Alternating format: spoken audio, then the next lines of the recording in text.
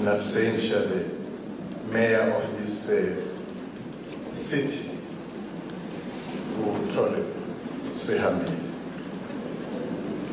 amagala kwezemidlalo eh the friends to Ace the Iron Man. All political parties who are represented here, religious leaders here with us, distinguished guests, fellow mourners, others would be left for special acknowledgement. Ladies and gentlemen, today we're here to pay tribute to a great son of the Eastern Cape, a legend of South Africa and our continent, and one, of, and one whose artistic prowess was recognized throughout the world, as many have attested here today. Uh, for Dada, Winston Zola Ntshona was truly grounded in this soil. But from this center, he spoke to the world. He was not content with arts, with the arts, which he loved so much. And for him, it wasn't just entertainment, though entertainment is also an important part of our lives. He was a humanist who believed that in transmitting human values through art, one could further humanize the world. He recognized the powerful ability of the arts to raise consciousness, expand our imaginative possibilities, redream, and transform the world. His acting was so powerful that to act itself was to represent a vision of transformation. He was a storyteller, a trailblazer, a playwright, an actor who rose from this very township, New Brighton, to take Broadway by storm and beam in the bright lights of Hollywood, taking pride of place on the stages of the world. He was not occupied by self-gratification, but all through his life, he was preoccupied with building others and teaching new generations. Indeed, he served others. As his arts served him, he gave freely of his time to the new generations. For him, it was the artist's obligation to serve his people and fulfill a public role. Art had to question, expose injustice, and make sense of the world in order to change it for the better. The role of the artist was to ask hard questions and seek sensible answers, demonstrating intellectual leadership. In this journey, he was not alone. He, alongside a critical mass of fellow artists and comrades, would take South African struggle to greater heights. He came from generations before him, who from the 1800s had, through their literary skills and art, resisted oppression and sought their own voice.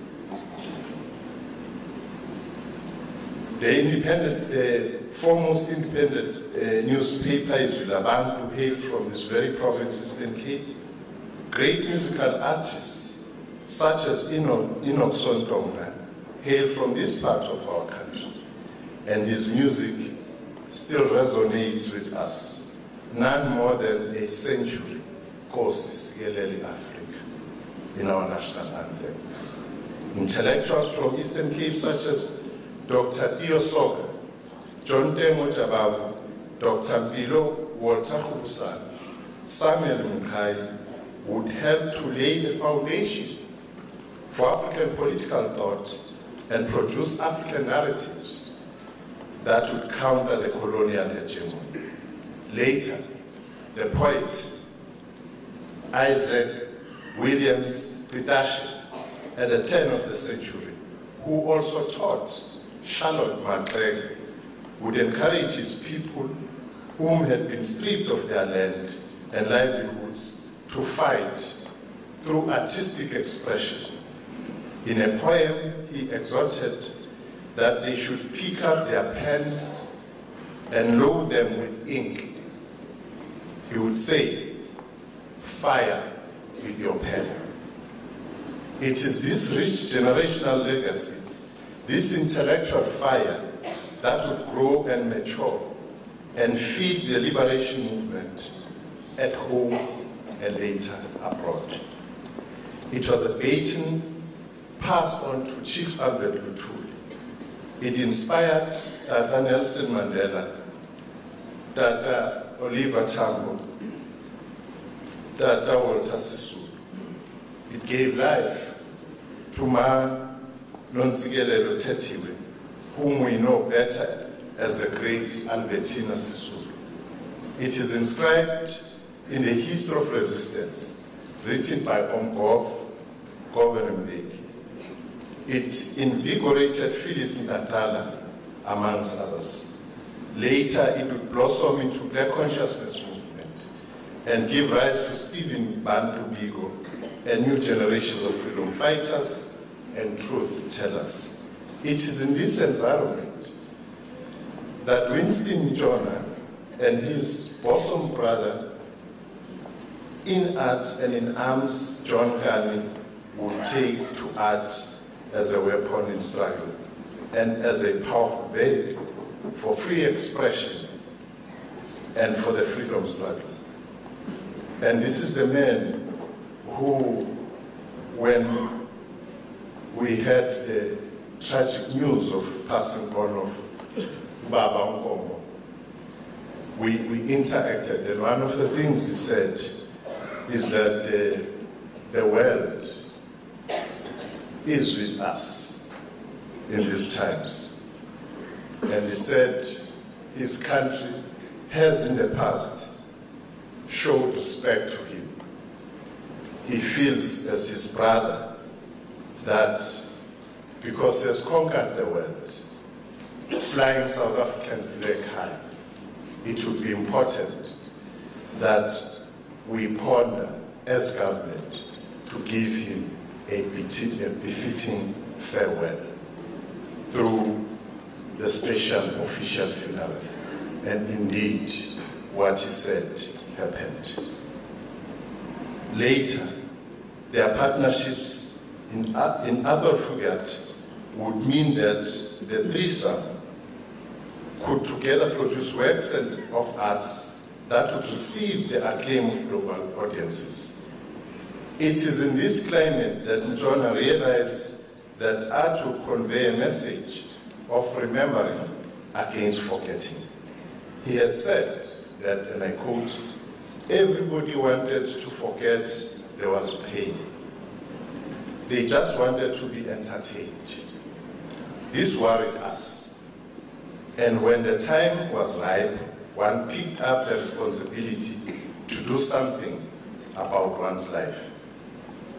It is in this context that Sizwe Banzi is dead and the island would bring a hidden South African reality into opening the eyes of the entire world.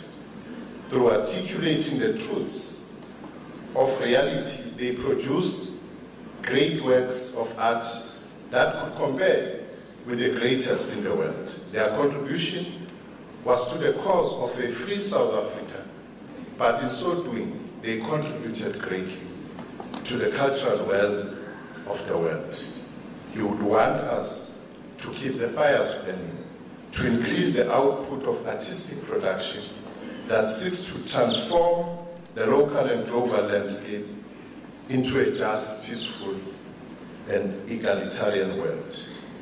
Since the announcement of the news of the passing of Dr. Winston Zola Ntshona, the word of condolences from across the world have been pouring, which expose the multifaceted nature of his talent. His brother and comrade, Dr. John Kani, had this to say, amongst others, as we saw him today here. I had known that Winston Ntshona has not been well, but I have been sobbing since I heard the news of his passing. I'm devastated that I'm so far away from home at this time. Ntshona was a brother to him, he says, close quote. And he assured us that even though he's working, even though he's far away, but in two days' time, he will be able to come and pay his last respect to his brother. Athol Fugard, a friend and a colleague of Dr. Ntshona, expressed his shock in the following lines. With the passing of beautiful Winston, I have lost a dearly beloved, beloved brother. A big tree has fallen in the forest. Fortunately for us, the survivors, they are young ones now growing taller. Close quote. Richard Sanderman of the newspaper, the New York Times, dotted the following lines as tribute to Winston Ntshona, And he said, and I quote, Winston Ntshona, a renowned black South African actor whose performances on Broadway in two short anti-apartheid dramas died on Thursday in New Brighton, a township near Port Elizabeth, South Africa. He was 76. Mr. Ntshona's theatrical career was inextric inextricably connected to Mr. Kani's. Both were factory workers in the mid-1960s when they joined the Serpent Players, a mixed-race troupe that the white playwright Athol Fugard had helped form. South African blacks could not be employed as artists at the time. So Mr. Ntshona and Mr. Nga, and Mr. Kani were classified as servants to Mr. Fugard in the identification passbooks that blacks were required to carry, close quote. Dr. Ntshona's legendary stature was not limited to theater. He played a series of film roles in the 1980s and 1990s. The most prominent was in 1989, A Dry White Season, a hard-hitting anti-apartheid South African played by Hollywood legend Donald Sutherland in finding out what became of his missing son. His other film roles comprise the screenplays Night of the Cyclone, The Power of One, Tarzan and the Lost City, and more recently, Blood Diamond. In his lifetime, the world has recognized him, amongst others, and, and uh, uh, Vuyo Mvoko has mentioned uh, some of, of the accolades. Doc, Dr. Winston Zola Ntshona and his brother in arms, Dr. John Kani in 1975 were co-winners of the Tony Awards for Best Actors. In 2010, he was awarded the National Order of Ikhamanga in silver for his excellent contribution to theater and the arts scene in South Africa. In 2012, streets in the arts precinct in the center of Port Elizabeth had their names changed in honor of Ntshona and fellow theater stalwarts John Kani and Athol Fugard. Chapel Street was changed to Winston Ntshona Street. Dr. Winston Ntshona and his brothers in arms lived up to the assertions made by the German scholar Karl Marx, who said the following lines, men make their own history, but they do not make it as they please. They do not make it under self-selected circumstances, but under circumstances existing already given and transmitted from the past. The tradition of all dead generations weigh like a nightmare on the brains of the living. Kuni bakwantshona, nina bonkomo, nina bomtungwa, nina bomalinga, boyengwayo. Sithi kuni akuhlanga olungehliyo. Thuthuzelekani kuba umhlaba wonke unani aninodwa. isisho isisho se- sesintu esithi yilabo asebehambile emhlabeni abavalwa amehlo abaphilayo bona bavula amehlo abaphilayo asebehambile just a program directors that the people should really respect those who have departed when we say we are coming to pay respect, we should pay respect. If we want battlegrounds for politics, let's choose battlegrounds. But let's respect those we are. Because it's worse when we come with distortions and fabrications at funerals. But let's respect those who are departed. Thank you very much.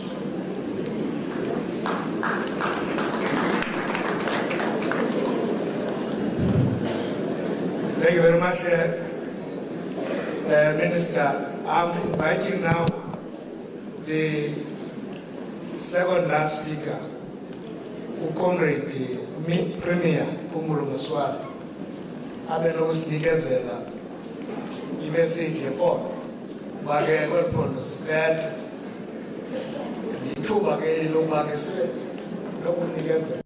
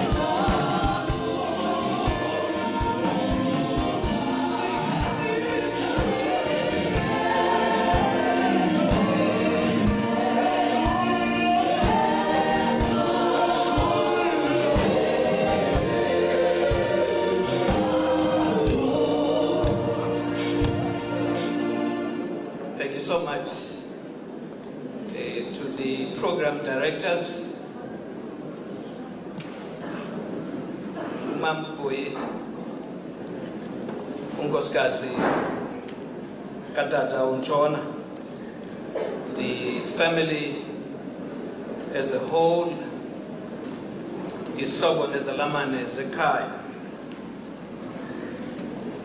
The minister Minister Nathi Mthethwa, the leaders of political parties present, notably the African National Congress is led by MEC today of Finance and Economic Development, Chairperson Oscar Mabuyane, the Pan-Africanist Congress, led here today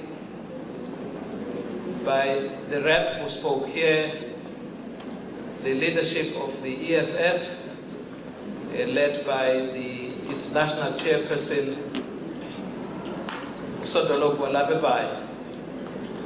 ongekhoyo ngoku. The rest of the mourners who are here uh, with us, the community of the performing arts, for whom Dr. Ntshona was such a pivotal part of, the leadership of the church, the clergy as a whole, amanenekazi namanene akhoyo kulomsitho wokuzawuthintela ntle kweli gorha. Good. The measure of a man's life is more than any speech can portray. The value and worth of that same life is, is worth more than any bank account or share certificate can contain. What then does one say about Utata Winston Ntshona, who not only lived his very full life, but brought to life so many authentic and realistic, relatable characters that live in our imaginations and hearts, even now that he is no more. Many with personal experiences of him, I am sure more than I, have already stood up here today to tell us who he was. A family man, a friend, a colleague and a neighbor, and so many other attributes were made here to describe him. In considering how to honor this doyen of South Africa, South African theatre, I thought it best for me to talk of the patriot that he was. Tata Ntshona will be remembered as a shining example for us and all future generations as an example of performing arts and theatre. He inspired all of us to strive for excellence, hard work, freedom, humanity, and justice. Omnye umbali uHenry Hitchings kwenye incwadi titled The Book That Defined the World ebala about another Samuel Johnson's attempt to define each and every single English word. In and of itself, it describes it as an endeavor to safeguard the English national pride. This was done after France and Italy had published their national dictionaries earlier in the 18th century. What does this have to do with Dr. Winston Zola Ntshona and his patriotism? Well, interestingly, in the very first English dictionary, it first described a patriot as, and I quote, someone whose ruling passion is the love of his country, close quote. In this, this in his 1773 fourth edition, fourth edition, the same Dr. Johnson's dictionary, however, the, definition, the definition of the patriot had evolved to include the fact that, and I quote, it is sometimes used for a factious disturber of government, close, close quote. That was just 200 years before the birth of Dr. Winston Ntshona, who indeed, in his masterly and dignified manner, became a, and I use that description, a factious disturber of the South African apartheid government, close quote, across many uh, world stage and platforms. Of patriotism, Johnson eventually went on to explain that, and I quote him, it is unpleasing to represent our affairs to our own disadvantage. Yet it is necessary to show the evils which we desire to be removed. Again, he says, a man sometimes starts up a patriot only by disseminating discontent and propagating reports of secret influence, of dangerous counsels, of violated rights, and encroaching as a patient. And that the true lover of his country is ready to communicate his fears and to sound the alarm when there is no enemy. He never terrifies his countrymen till he is terrified himself. Finally, he states that a patriot is necessarily and invariably a lover of the people. In my mind, Udata Winston Zola indeed disseminated discontent for the dangerous counsels and the rights which the apartheid regime violated during those dark days of struggle. Indeed, he sounded the alarm, for he himself was alarmed by the worsening state of affairs that affected his fellow countrymen and women. He correctly identified the enemy and wittingly communicated his fears in thought-provoking script, word, and action for all to understand his fears and aspirations. So he met all that which described a patriot. He worked with the youth, introducing them to the work of theater and promoting art in general and helping them write plays. There are two units here, the Port Elizabeth Youth Theatre and the Eastern Cape Cultural Unit, which is a collection of the various arts groups working in Port Elizabeth, especially in the black disadvantaged communities. Anyone who works with the youth, who are our future leaders, and especially with the most vulnerable in our society, displays an active role, an active love of the people.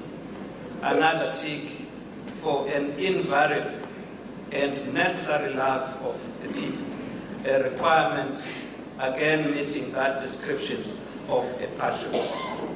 So it is right and well that we talk about him as a patriot. Definitely, he has given much more to humanity than he has ever asked for himself. That alone is enough to let us know that uyidlalile indima yakhe apha ngexesha lakhe lokudla amazini.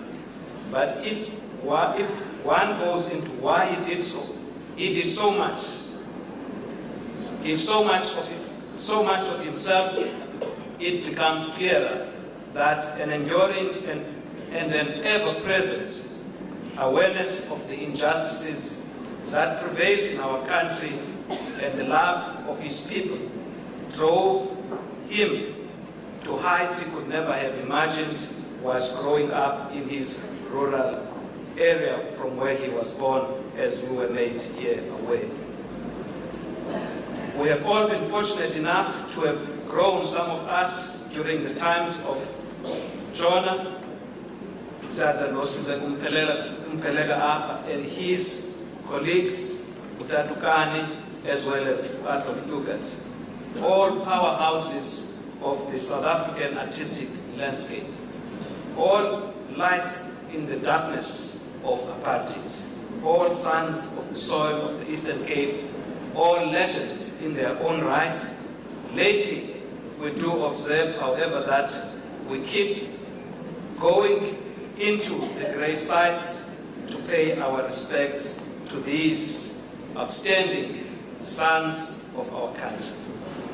Program Director, in the interest of time, I should wind towards complete, completing this eulogy. I, however, would like to also make reference to one of his directors in one of the outstanding pieces titled A Dry White Season. The director there, Euzhan Palcy, who said of him, Uti Utatunjona, was not acting in a film. He was the character he was playing there, the character of Ugon Ngubeni, Mr. Ben, Ben's Gardner in the film. That fellow, simply him, like he was simply that fellow. So to him, he could really mirror the character he was playing at all material times. And that makes him an exceptionally gifted artist if one were to consider that. He was brave and fearless. He knew what he was doing. And of course, he says he really at times could evoke emotions to those who were observing.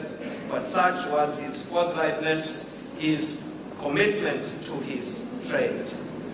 Lastly, a program director, to the members of the family, to all who have come to rub shoulders with him, we, we do say that there lies one of the leading lights that this province has produced. In paying respects to him, sithi umthi omkhulu uwile kuthi bantu bashiyekileyo those of us who are survivors particularly the young ones he has done his part on them. Surely as he has fallen the young ones must now grow taller. Sithi lala ngoxolo mntungwa ngomo ngalinge kwayo sithi nakusapho lakhe mkhululeni he has done his part. Enkosi kakhulu